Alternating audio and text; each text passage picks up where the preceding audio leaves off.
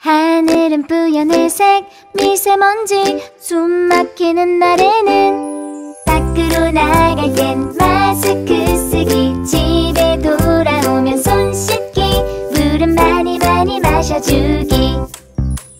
하늘은 새파란 파랑 매일 맑은 날들 만들기 위해 버스나 지하철 타고 다니기 가까운 거리는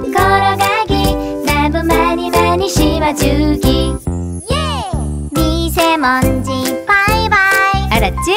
바이바이 푸르마, 이제 미세먼지 대응법 잘 알겠지? 물론이지. 물 많이 마시고 깨끗이 씻고 이제 미세먼지 따윈 하나도 안 무서워. 그럼 잊기 전에 친구들도 우리랑 다 같이 노래해봐요.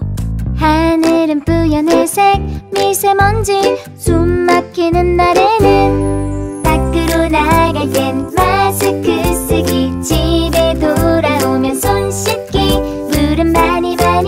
마셔주기 하늘은 새파란 파랑 매일 맑은 날들 만들기 위해 버스나 지하철 타고 다니기 가까운 거리는 걸어가기 나무 많이 많이 심어주기 미세먼지 바이바이 알았지?